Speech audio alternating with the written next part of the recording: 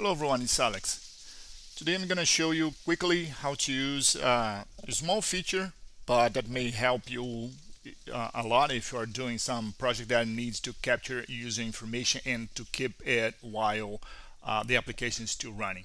So this is an example here. This is a simple project. This white area here is a canvas. So you are able to, to draw things. It's a regular canvas thing okay? Uh, you can switch colors if you want. But the beauty here is with this new feature that I'm going to show you in a few seconds when you go next if you decide later on while you're running the app come back to the following page. The image that you drew before will be there okay? So you can come here again and do opposite things and go back what this feature does is pretty much save uh, a picture a JPEG of the the last drawing that you did. And when you need to clean up again you can do a reload. And if later on you decide to close this app and open again uh, it will come up with a blank canvas again if the, the, the, file does not exist anymore in the temporary uh, directory. So let me show you how it works. So in this project here it's again it's a very simple project. I have this canvas copy area here which is this this blank screen. It will act as a canvas. And I came here to the interactions select set canvas and it had created for me.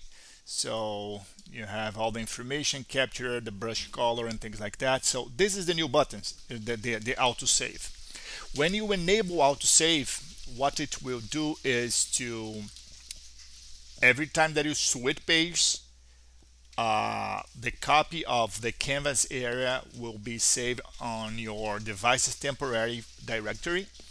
So while we will go back to this to to this, the same screen later on in your project because the, this file still exists in the temporary folder it will load quick will load it for you so this way you can keep continue tracking your your your drawing okay? So there are uh, th there are a few tweaks here. For example Corona does not allow us to save as PNG on iOS. So if you have a complex design here what will require uh, you know always the the strokes of your drawing be on top of everything like the original canvas do uh, it will not work because it will be replaced by this JPEG image.